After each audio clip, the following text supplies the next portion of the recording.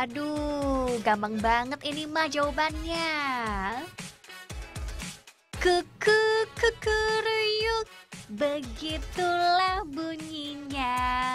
Kakinya bertanduk, ayam jantan namanya.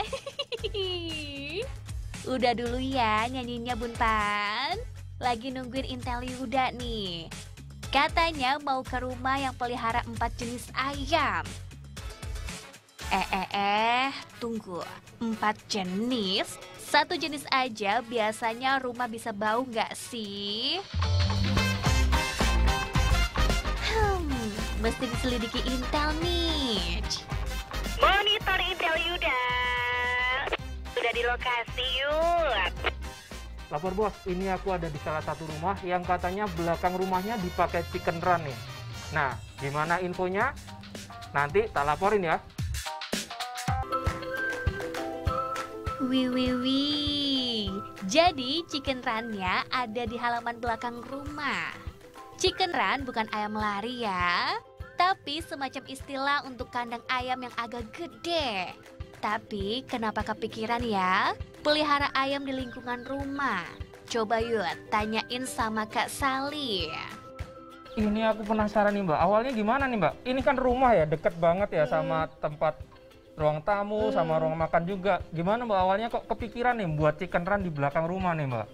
awalnya nggak sengaja sebenarnya punya ayam cuman eh, kita berpikir-pikir gimana ya supaya benar-benar hidup ini bisa zero waste gitu Ah. nah kan sisa-sisa makanan kan selama ini walaupun dikompos nggak semua bisa dikomposkan Oh. akhirnya pikir gini oh ya memang eh, satu binatang peliharaan yang juga gini sweet gitu yang bisa dipeluk-peluk Oh jadi awalnya karena pengen rapin prinsip zero waste, aka bebas sampah.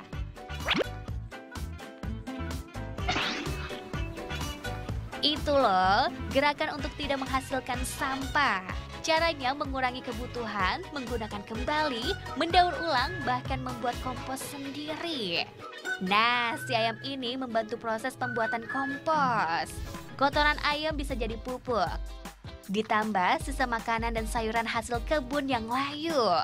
Semuanya dikumpulkan di lubang pembuatan komposnya. Nah, karakter ayam yang suka menggali dan mengais tanah bisa mempercepat proses pembuatan kompos bunpan. Tapi eh tapi kan biasanya ayam bau yuk. Bisa ini aku cium meskipun nggak pakai masker, pakai masker ini nggak ada bau sama sekali itu gimana caranya mbak? Nah, kalau menurut panduannya Pak Norbertus nih, Ah. yang penting kadar amonianya rendah. Amonia rendah itu pengaruhnya dari pangan. Ah. Terus yang kedua, eh, kadar di tanah ini supaya dia eh, nggak bau adalah nitrogen dan karbon harus seimbang. Nitrogen itu semua bahan yang belum busuk. Jadi suatu saat dia akan busuk, makanya dia mengeluarkan bau. Nah, kalau karbon itu semua bahan organik yang sudah melalui proses busuk. Jadi dia sudah kering saat ini. Oh. Nah, nitrogen itu kalau dicampur sama karbon, baunya diserap oleh karbon. Di kopi, ternyata kunci biar nggak bau itu ada di karbon bunpan. Nah, karbon itu contohnya serasa atau bagian tanaman yang udah mati, misalnya daun. Kadar karbon dalam serasa atau daun kering akan menyerap kadar nitrogen yang biasa ada di kotoran ayam. Jadi bebas bau deh. Oh iya, Kak Sali sendiri pelihara empat jenis ayam. Ada cemani, serama, kate, dan ayam kampung. Nah, mereka semua bermanfaat untuk membantu proses composting. Selain itu pastinya punya manfaat lain. Misalnya produksi telur di rumah sendiri. Ini untuk uh, semua ayam yang nggak mengeram dan nggak punya anak, nggak ngasuh anaknya, dia pasti bertelur satu sehari. Jadi segini ini satu sampai dua hari. Setiap hari kita panen pagi.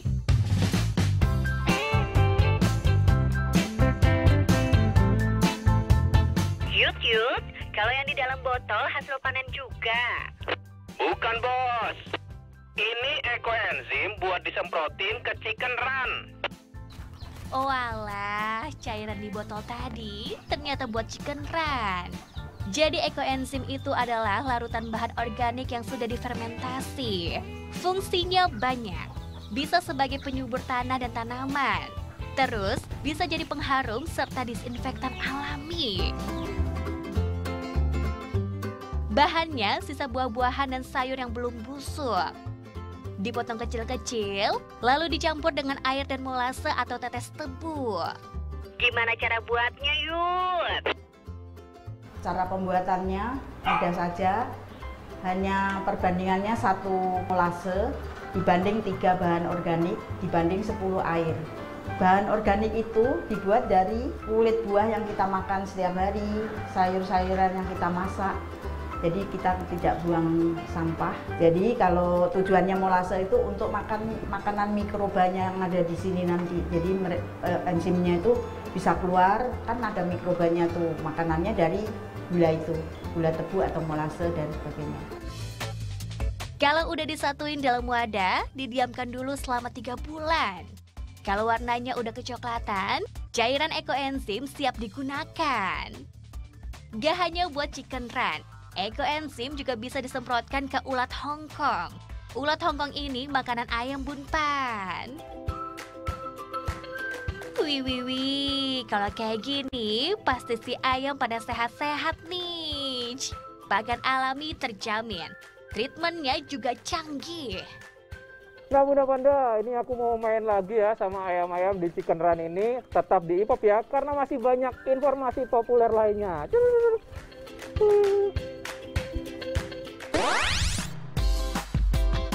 Yuhu, Ipop belum selesai nih. Jangan ke mana-mana dulu. Gak lupa, Ipop juga mau ingetin. Demi mencegah penularan COVID-19, selalu pakai masker dan cepatlah vaksin. Masker terbukti menekan resiko penularan hingga 80%.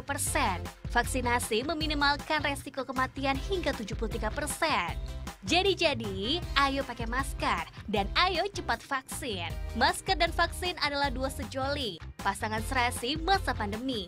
Menjaga kita tetap sehat dan bahagia.